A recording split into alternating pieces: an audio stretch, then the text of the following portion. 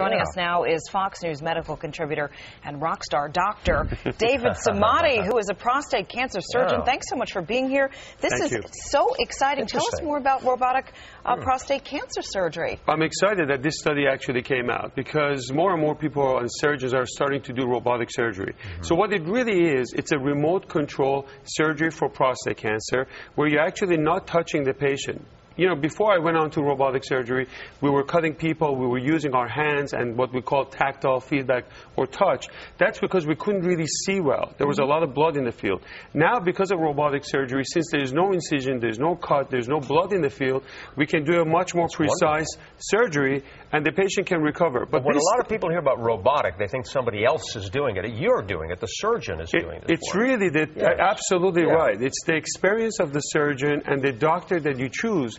But of course, with the robot, you have the high definition camera, and it's a much more precise procedure if you have the experience. And that's what we're getting out of this study, is that not every robotic surgery is going to be successful. Mm-hmm. Choose and pick the right centers of excellence, high volume places, places where they study their data, and again, experience of the surgeon is everything, not the actual robot. The other big message that's coming out of this is that with surgery, you're removing the entire prostate.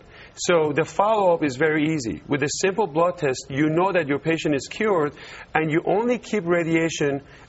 as a backup plan after surgery. If you get radiation today, it would be very difficult to do surgery after radiation. Mm-hmm. So now we're treating the patients with removal of the prostate, follow them very cautiously. The sex life is excellent. 85% of the patients are sexually active.